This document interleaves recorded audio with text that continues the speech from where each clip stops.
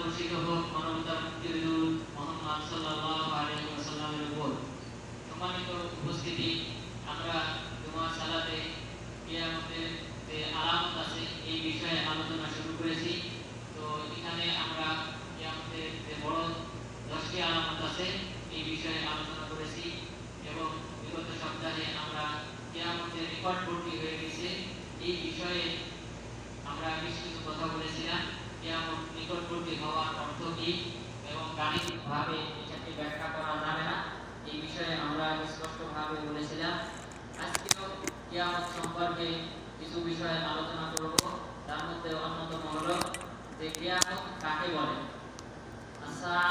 বলে কিয়ামত কাকে বলা হয় এবং কিয়ামত কত প্রকার এবং সেই সাথে কিয়ামত সম্পর্কে, কিয়ামতের আলামত সম্পর্কে যে সকল দলিল বর্ণিত হয়েছে, সেই সকল দলিলের ক্ষেত্রে কিছু নিয়ম আমাদেরকে ফলো করতে হবে।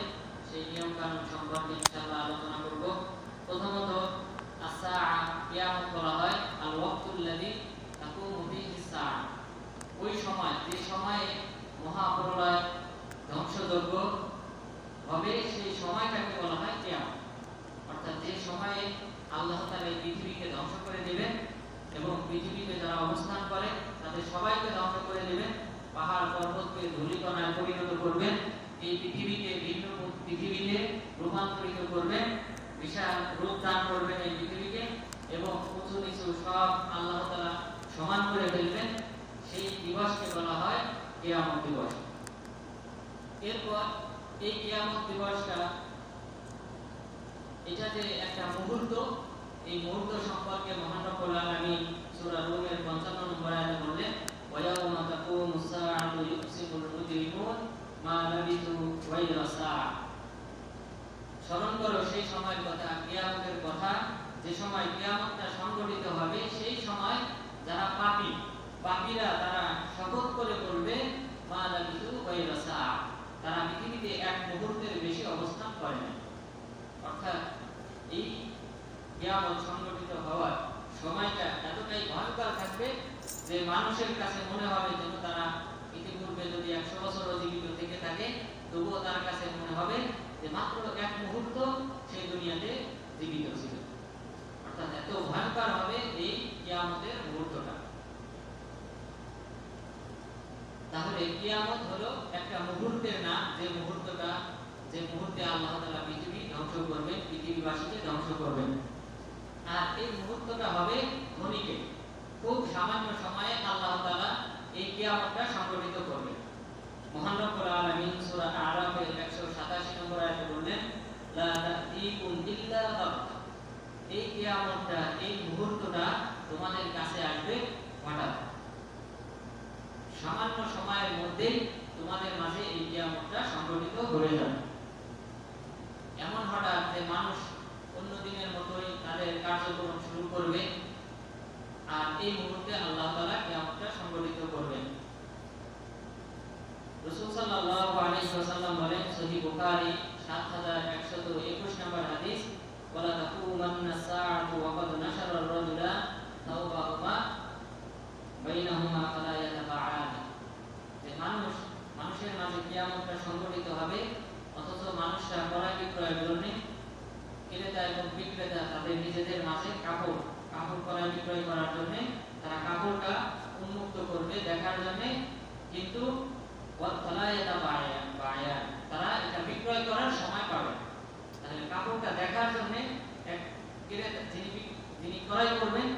এই কাপড়টা উন্মুক্ত করবেন ওপেন করবেন। এরপর এটা ওয়ালা করার সময় এর মাঝে হবে। ওয়ালা এবং কড়াই বিক্রয় করারও সুযোগ অর্থাৎ সে যে কড়াই করে ক্রেতাকে টাকাটা সেই মুহূর্ত সে পাবেন। অথবা বিক্রেতা যে কাপড়টা ভাস করে রেখে দেবে, সেই সুযোগও পাবে এত ক্ষণিকের মধ্যেই কেয়ামত সংগঠিত হবে। ولا تقومن الساعة وقد انصرف الرجل بلالا لرفحته فلا يتعمه আর কিয়ামত এত দ্রুত সংগঠিত হবে, কোন ব্যক্তি তার গৃহপালিত পশুর দুধ দহন করবে, এই দুধ দহন করার পর এই দুধটা হতে দেওয়ার সুযোগ পাবে। এরপর বললেন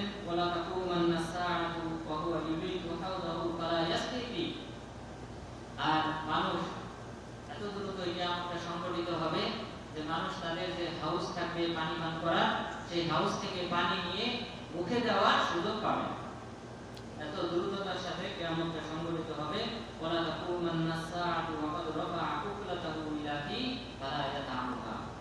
এবং মানুষ কিয়ামতটা এত দ্রুত সংঘটিত হবে, মানুষ তার খাবারটা মুখের কাছে নেবে, কিন্তু মুখে দেওয়ার সুযোগ পাবে। তাহলে একটা ক্ষণিকের একটা মুহূর্ত, যে মুহূর্তে আল্লাহ তাআলা কিয়ামতটা সংঘটিত করবেন আর এই মুহূর্তটা খুবই সংক্ষিপ্ত একটা মুহূর্ত হবে যে কারণে মানুষ তাদের যে দৈনন্দিন কার্যক্রম আছে, সেই কার্যক্রমে লিপ্ত হলেও সেই কার্যক্রম কোনোটাই সম্পূর্ণ করার সুযোগ পাবে এর মাঝে আল্লাহ তাআলা কিয়ামত সংগঠিত করবেন। এরপর এই কিয়ামত, কিয়ামতটাকে অর্থাৎ এই মুহূর্তটাকে, যে পরকালীন জীবনের এই মুহূর্তটাকে বা এই ধ্বংসযজ্ঞের মুহূর্তটাকে, কিয়ামতটাকে মোট তিনটি অর্থে সংজ্ঞায়িত করা হয়। তাহলে কিয়ামতের তিনটি অর্থ আছে। এটা খেয়াল রাখবেন, কারণ কোরআন হাদিসে অনেক আয়াত অবতীর্ণ হয়েছে, যে আয়াতে কিয়ামতের কথা বলা হয়েছে। এবং অনেক হাদিস আছে, যে হাদিসে কেয়ামতের কথা বলা হয়েছে, কিন্তু উদ্দেশ্য হলো তিন প্রকারের যে কোনো এক প্রকার। যদি কেউ এই বিষয়টা না জানে, তাহলে সে গোমরাহি হবে। সে পথভ্রষ্ট হবে, সে হাদিসের অর্থ বুঝতে পারবে না, কোরআনের আয়াতের অর্থ বুঝতে পারবে না, যদি না এই তিন প্রকার সম্পর্কে তার জানা থাকে। এটা জানা অতীব জরুরি প্রথম প্রকার হলো আসাদুল কুবরা বড় কিয়ামত বড় কিয়ামত বলতে বোঝানো হয়েছে বাসুন নাস লিল মুহাসাবা আল্লাহ তাআলা যে পুনরুত্থান দিবস ঘটাবেন অর্থাৎ এই মহাপ্রলয় হওয়ার পর সিংহায় ফুৎকার দ্বিতীয় ফুৎকারের পর আল্লাহ তাআলা মানুষকে যে কবর থেকে উঠাবেন হাসর নাসরে বিচার আচার করার জন্য সেই দিবসটাকে বলা হয় আসাদুল কুবরা বড় কিয়ামত তো বড় কিয়ামতটা হবে তাহলে দ্বিতীয় সিংহায় দেওয়ার পর আর প্রথম সিংহায় যখন ফুৎকার দেবেন ফেরেশতা তখন এই পৃথিবীবাসী সব মারা যাবে এবং পৃথিবীতে যত যা কিছু আছে সবগুলি সমান ভূখণ্ডে পরিণত করা হবে তো এটা হলো প্রথম সিংহায় ফুৎকার আর দ্বিতীয় যে সিংহায় ফুৎকার মানুষকে বিচার আচারের সম্মুখীন করা হবে সেই দিবসটাকে বলা হয় আসাদুল কুবরা বড় কিয়ামত ব্যাপারে রাসূল সাল্লাল্লাহু আলাইহি ওয়াসাল্লাম বলেছেন, মুসনাদে আহমদে 6514 নম্বর হাদিস, লা তাকুমু সাআ হাত্তা ইয়াদহারা ফুহুশ ওয়া তাফাহুশ কিয়ামত কখনোই সংঘটিত হবে না, যতক্ষণ পর্যন্ত না মানুষের মাঝে ফাহিশি কাজ, অশ্লীল কাজ প্রকাশ না হয়। এবং অশ্লীল কাজে মানুষ যতক্ষণ পর্যন্ত না লিপ্ত হবে, ততক্ষণ পর্যন্ত কিয়ামত সংঘটিত হবে না। অর্থাৎ জিনা ব্যভিচার এগুলি বেড়ে যাবে। এটা যতক্ষণ পর্যন্ত বেড়ে না যাবে, ততক্ষণ পর্যন্ত কিয়ামত সংঘটিত হবে না। এখানে যে কিয়ামতের কথা বলা হয়েছে এই কিয়ামত হলো বড় কিয়ামত। অর্থাৎ সবচেয়ে বড় যে কিয়ামতটা সংঘটিত হবে, সেই কিয়ামতের কথা বলা হয়েছে। আর এই কিয়ামতটা সংঘটিত হবে কখন? এই বিষয়ে আমাদেরকে সামান্য একটু ইঙ্গিত দেওয়া হয়েছে, সেটা হলো শুক্রবার। এই যে সিংহায় ফুৎকার দেওয়া হবে ফুৎকার এটা হবে শুক্রবার। শুধুমাত্র এতটুকুই বলা হয়েছে এবং এই কারণে শুক্রবারে জিন এবং মানুষ জাতি ব্যতীত বাকি সমস্ত মাকলুকাত ভয় থাকে, আতঙ্কে থাকে। যে না জানি আজকে কিয়ামত সংঘটিত হবে। রাসূল সাল্লাল্লাহু আলাইহি ওয়াসাল্লাম বলেন সহিহ মুসলিমের 2014 নম্বর হাদিস ওয়ালা তাকুমু সাআ ইল্লা ফি ইয়াউমিল জুমআহ কিয়ামত সংঘটিত হবে না। শুধুমাত্র জুমার দিন ব্যতীত অর্থাৎ একমাত্র জুমার দিনে কিয়ামতটা সংঘটিত হবে তাহলে আমাদেরকে এতটুকু অবহিত করা হয়েছে যে বড় কিয়ামত যেটা, এটা শুক্রবারে সংঘটিত হবে। কিন্তু এর চেয়ে বেশি কিছু আমাদেরকে অবহিত করা হয়নি। কত বছর পরে এই কিয়ামতটা সংঘটিত হবে? কোন শুক্রবারে, কোন মাসের কোন জুমার বারে এই কিয়ামতটা সংঘটিত হবে? এই জাতীয় কোনো কিছুই আমাদেরকে অবহিত করা হয় না আল্লাহ নিজের কাছে রেখে দিয়েছেন, তিনি এই বিষয়টা কাউকে অবহিত করেন এই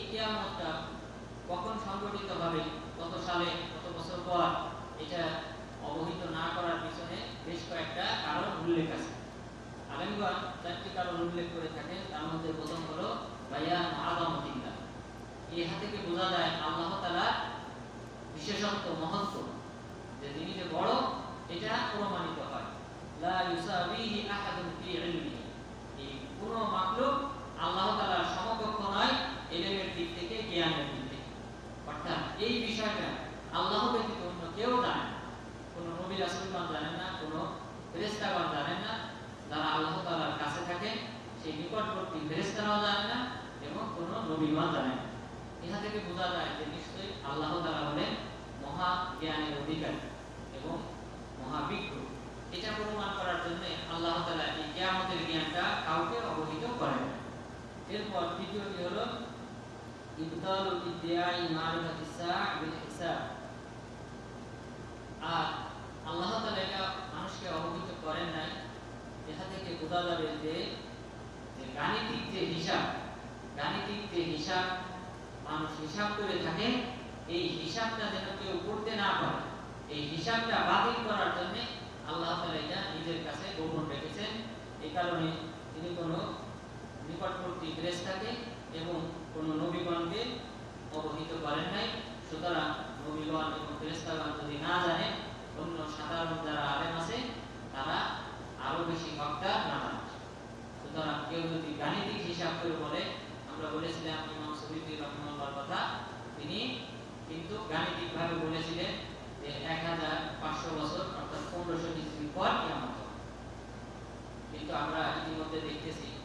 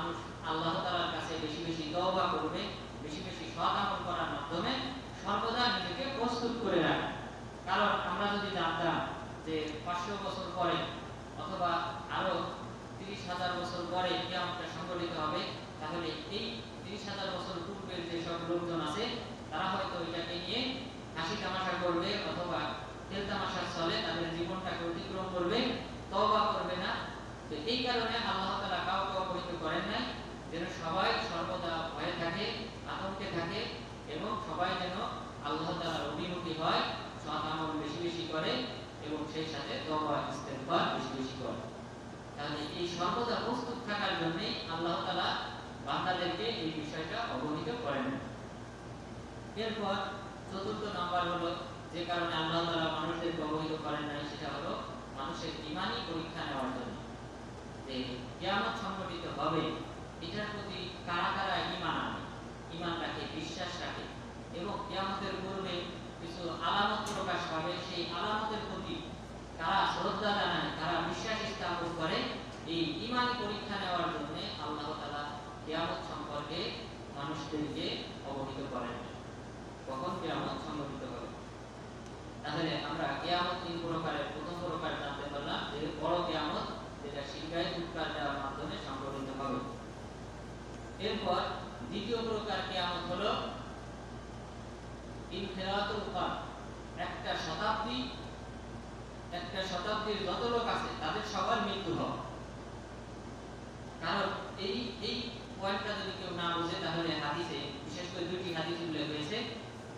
হাদিস বুঝে আসবেন প্রথম হাদিস হলো রাসূল সাল্লাল্লাহু আলাইহি ওয়াসাল্লাম বলেন সহিহ বুখারী মুসলিমের হাদিস আন্নাহু রাবা আব্দুল্লাহ ইবনে উনাইস আব্দুল্লাহ ইবনে উনাইস নামে একজন সাহাবীকে দেখলেন তিনি ছোট সাহাবী ছিলেন অর্থাৎ রাসূল সাল্লাল্লাহু আলাইহি ওয়াসাল্লামের যুগে তার বয়স অল্প ছিল ছয় সাত বছর ছিল তো এই সাহাবীকে দেখে রাসূল সাল্লাল্লাহু আলাইহি ওয়াসাল্লাম বললেন ইয়াতুল উমরু হাদাল গুলাম লাম ইয়ামুত হাত্তা তাকুমাস সাআ এই বালকটা যদি বয়স পায় পূর্ণ বয়স পায় তাহলে আশা করা যায় যে তার হওয়ার পূর্বে কিয়ামত সংঘটিত হবে।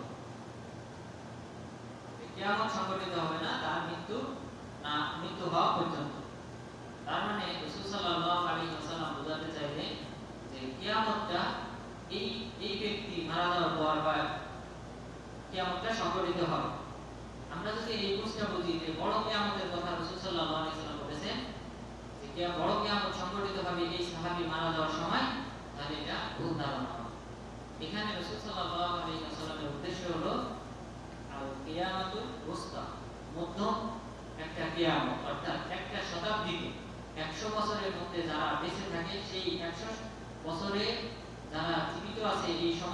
তারা সবাই একশো বছর অতিক্রম করার আগেই মারা যায় এটা উদ্দেশ্য ছিল অর্থাৎ ওই শতাব্দীতে এই কথাটা বলেছিলেন তখন থেকে নিয়ে একশো বছরের মধ্যে যত লোক আছে, তারা সবাই একশো বছর পূর্ণ হওয়ার পূর্বেই মারা এবং সেটা ঘটেছিল। সাহাবাবা সবাই সবাই মারা গিয়েছে একশো শতাব্দীর মধ্যে। রসুল সাল্লাহ আলী মারা এগারো হিজড়িতে। আর সর্বশেষ যে সাহাবি, আবু তুফাই আমির বিন ওয়াহিলা আল-লাইসি, আমির বিন ওয়াহিলা আল-লাইসি নামক এই সাহাবি, তিনি সর্বশেষ মারা গেছেন মক্কাতে 110 হিজরি তাহলে রাসূল সাল্লাল্লাহু আলাইহি ওয়াসাল্লাম বললেন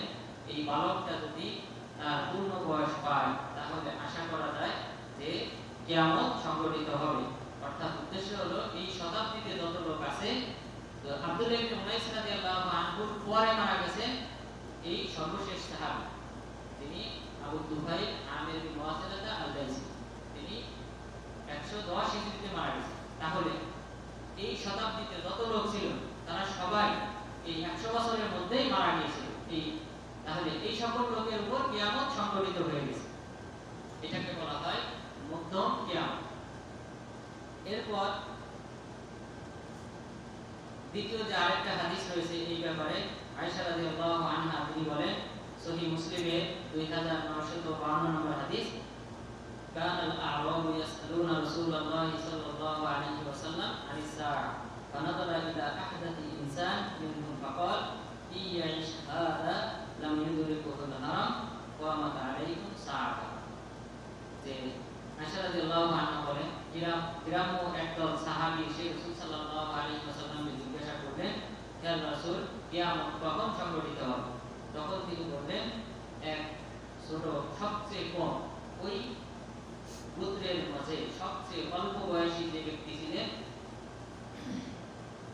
তার দিকে তাকিয়ে রাসূল ওয়াসাল্লাম বললেন, এই ব্যক্তিটি যদি জীবিত থাকে এবং লামিয়ুদরিকুল হারাম এবং সে যদি বার্ধক্য বয়স পায়, তাহলে বার্ধক্য বয়স পৌঁছে গেলে এই বালকটা তাহলে তোমাদের সবার উপর কেমন হবে।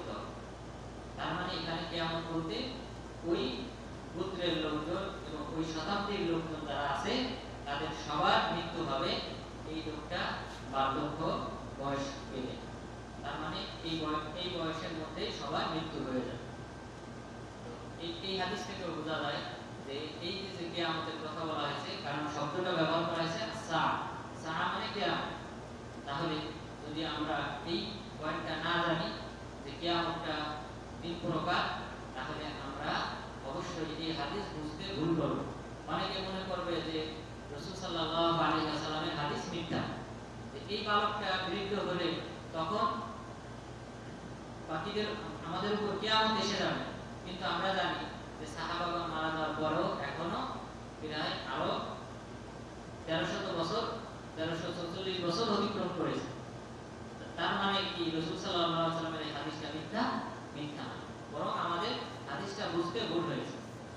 যে এখানে কেয়ামতের উদ্দেশ্য হলো মধ্যম কেয়ামত তথা একটা শতাব্দীর লোক সবাই মারা যাবে এই শতাব্দী এরপর কেয়ামতের দ্বিতীয় আরেক প্রকার কেয়ামত রয়েছে, সেটি হলো আল কেয়ামত সুগুরা সাহাত সুগুরা ছোট কেয়ামত। এটা হলো মৌতুল ইনসান।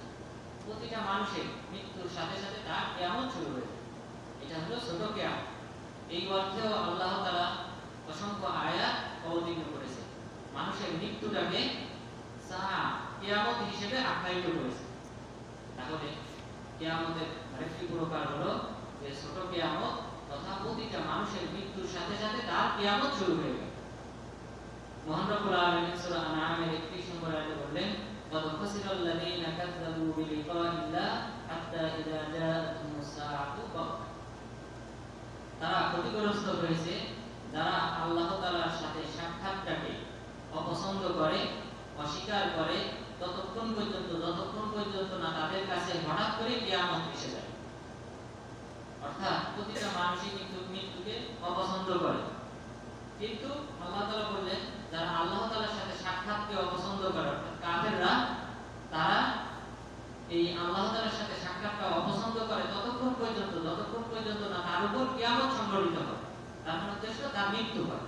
তার মৃত্যু, কারণ যখন মৃত্যু এসে যায়, তখন সে তার ভুলটা বুঝতে পারে। কারণ ওই সময় ফেরেশতারা, আমরা অনেকবার বলেছি, মারপিট শুরু করে। ওই সময় ফেরেশতারা এই কাফের ফাসিকদেরকে মারপিট শুরু করে। তখন মানুষটা বুঝতে পারে যে তার ভুল হয়েছিল। সে তার জীবনে যে ভুল করেছে, আল্লাহর দেওয়া বিধিবিধান মেনে চলে নাই, সেই ভুলটা তখন বুঝতে পারে। এই কারণে আল্লাহ তাআলা বললেন, কাফেররা, তারা ক্ষতিগ্রস্ত হয়েছে তারা আফসোসটা সেই সময় করে যখন তার উপর কিয়ামত সংঘটিত হয়, অর্থাৎ যখন তার মৃত্যু এসে এরপর মহান রব্বুল আলামিন সূরা আনআমের 40 নম্বর আয়াতে বললেন, কুল আরাআইতাকুম ইন আতাকুম আযাবুল্লাহ আও আতাতকুমুস সাআ তোমরা কি ভেবে দেখেছ সেই সময়ের কথা? যখন তোমাদের কাছে শাস্তি এসে যাবে, আল্লাহ তাআলার শাস্তি এসে যাবে, অথবা তোমাদের কাছে আল্লাহ তাআলার কিয়ামত এসে যাবে। আতাতকুমুস সাআ তোমাদের কাছে কিয়ামত যখন এসে যাবে, অথবা তখন আল্লাহ তাআলার শাস্তি এসে যাবে, তোমরা কি সেই মুহূর্তটা সম্পর্কে ভেবে দেখেছ? এখানে যে কিয়ামত বলা হয়েছে, উদ্দেশ্য হলো মৃত্যু। যে তোমরা সবাই কি ভেবে দেখেছ তোমাদের ওই মৃত্যুর মুহূর্তটাকে? তাহলে আমরা এই মৃত্যুটা হলো, উদ্দেশ্য হলো প্রতিটা ব্যক্তির মৃত্যু। রাসূল সাল্লাল্লাহু আলাইহি ওয়াসাল্লাম বলেন, সহিহ বুখারী 29 নম্বর হাদিস, একজন বিরাম ব্যক্তি এসে রাসূল সাল্লাল্লাহু আলাইহি ওয়াসাল্লামকে জিজ্ঞাসা করলেন, মাতা কিয়ামতটা কখন সংঘটিত হবে? রাসূল সাল্লাল্লাহু আলাইহি ওয়াসাল্লাম তাকে প্রত্যুত্তরে বললেন, ওমা লা আ'দাত্তা তুমি এর জন্য কি প্রস্তুতি নিয়েছো? অর্থাৎ কিয়ামত কখন সংঘটিত হবে, এটা জেনে তোমার তেমন কোনো লাভ নেই। বরং তুমি তোমার লাভ হবে তখন যখন তুমি এই মৃত্যুর জন্য প্রস্তুত রাসূল এই ব্যক্তিকে নিজের মৃত্যুর দিকে ইঙ্গিত করলেন যে তুমি তোমার মৃত্যুর কথা ভাবো, কিয়ামত বড় সেই কিয়ামতের কথা না ভেবে তুমি এই কিয়ামতের জন্য কি প্রস্তুতি গ্রহণ করেছ, সেই বিষয়টা উল্লেখ করো। তখন এই সাহাবী বললেন, লা শাই ইল্লা আন্নী উহিব্বুল্লাহ ওয়া রাসূলাহ। আমার তেমন কোনো প্রস্তুতি নেই, তবে আমি আল্লাহ এবং আল্লাহর রাসূলকে ভালোবাসি। রাসূল সাল্লাল্লাহু আলাইহি ওয়াসাল্লাম বলেন আনতা মা'মান আহবাব তুমি তাদের সাথে থাকবে, যাদেরকে তুমি ভালোবাসো। অর্থাৎ নবীগণ, সাহাবাগণ, তাদের সাথে তারা হবে। এরপর আনাস বিন মালিক রাদিয়াল্লাহু আনহু তিনি হাদিসটা বর্ণনা করে বলেছেন, কামা ফারিহনা আমরা কতই না খুশি হয়েছিলাম, রাসূল সাল্লাল্লাহু আলাইহি ওয়াসাল্লামের এই বাক্যটা শোনার পর যে তুমি তার সাথে থাকবে, যাকে তুমি ভালোবাসো। এরপর আনাস বিন মালিক রাদিয়াল্লাহু আনহু বললেন ফাআনা উহিব্বুন নাবিয়্যা সাল্লাল্লাহু আলাইহি ওয়াসাল্লাম ওয়া আবু বকর ওয়া উমর। ওয়া আরজু আন আকুনা মা'আহুম বিহুব্বি ইয়্যাহু ওয়া ইন লাম আ'মাল বিমিথলি আ'মালিহি। আমি রাসূল সাল্লাল্লাহু আলাইহি ওয়াসাল্লামকে ভালোবাসি, আবু বকর রাদিয়াল্লাহু আনহুকে ভালোবাসি। সুতরাং আমি আশা করি আমি ওনাদের সাথে থাকব, তাদেরকে ভালোবাসার মাধ্যমে। যদিও আমি তাদের মতো অনুরূপ আমল না করি।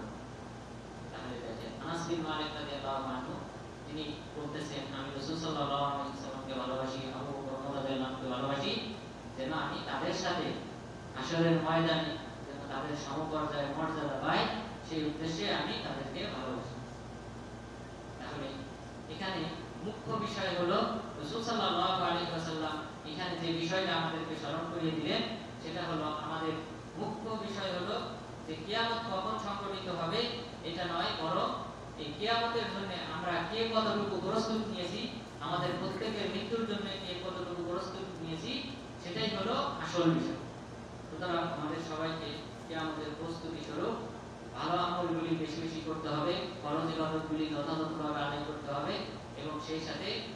যে সকল কবিরা গুণ আছে, সেগুলি পরিহার করতে হবে।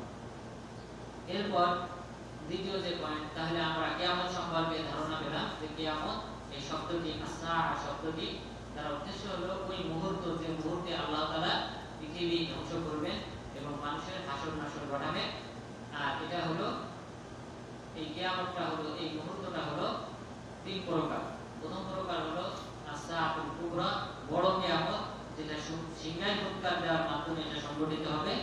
এরপর দ্বিতীয় প্রকার হলো যে একটা শতাব্দীর মানুষ তাদের সবার মৃত্যু হয়ে যাওয়া একশো বছরের মধ্যে এটাকেও কেয়ামত বলে আখ্যায়িত করা হয়েছে মধ্যম কেয়ামত। এরপর তৃতীয় প্রকার হলো আসাআতুল সুগরা ছোট কেয়ামত, আর এটা বলা হয় প্রত্যেক ব্যক্তির মৃত্যু। প্রত্যেকের কেয়ামত শুরু হয়ে যায় তার মৃত্যুর পর থেকে। এরপর এই কিয়ামতের যে সকল আলামত আছে, এই আলামতগুলিকে আলেমগণ কয়েকটা ভাগে ভাগ করেন প্রথম যে ভাগটা আলেমগণ করে থাকেন, সেটা হলো আসাআতুল কুবরা আস-সুগরা কিয়ামতের বড় আলামত, আরেকটা হলো কিয়ামতের ছোট আলামত। কিয়ামতের বড় আলামত 10টি আমরা উল্লেখ করেছিলাম।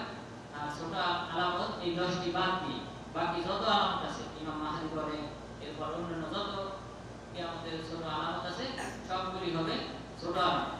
তাহলে এই বড় দশটি বাদ দিয়ে বাকি ছোট যত আলামত আছে সেগুলি ইনশাআল্লাহ আমরা ধারাবাহিকভাবে আলোচনা শুরু করব আগামী সপ্তাহ থেকে। তো ওই দশটা বাদে বাকিগুলাকে ছোট আলামত বলা হয়। এইটা হলো প্রথম প্রকারের আলেমদের ভাগ। যে কেয়ামতের আলামতগুলি এই দুই ভাগে ভাগ করা যায়। কিন্তু ওখানে আরেকটা ভাগ করা যায়।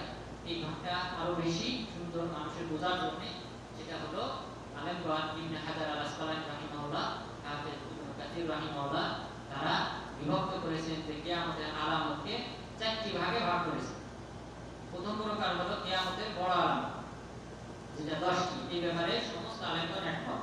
যেহেতু একই হাদিসে এই দশটি আলামত একসাথে উল্লেখ করা হয়েছে। এরপর বাকি দ্বিতীয় প্রকার হলো আলামত সুগরা আল্লাতি ওয়াকাত মান ফারাদ। কিয়ামতের ছোট আলামত, যেগুলি সংগঠিত হয়ে গেছে, অতীত হয়ে গেছে। যেমন রাসূল সাল্লাল্লাহু আলাইহি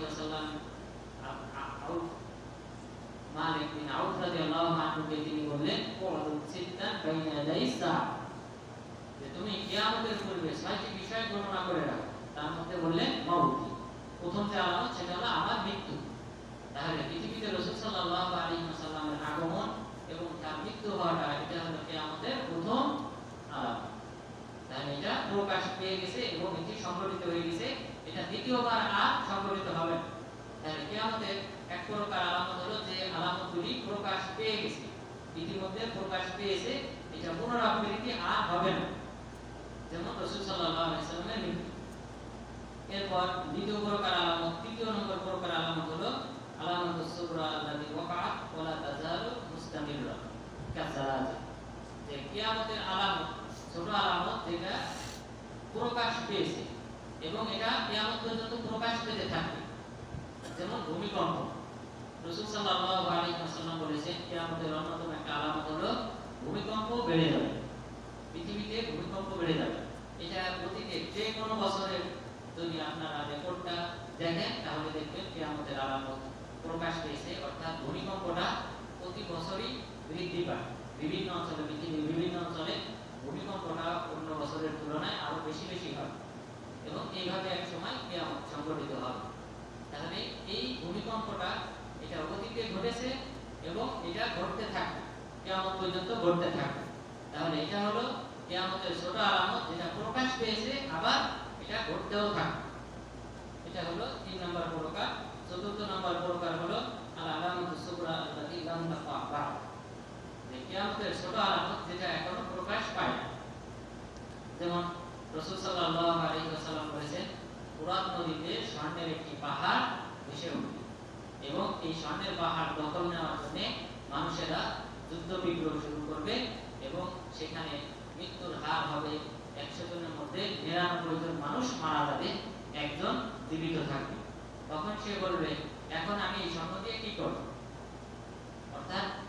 যদি লোকজন না থাকে কল্পনা করেন যে এখানে ব্যবসা বাণিজ্য নাই।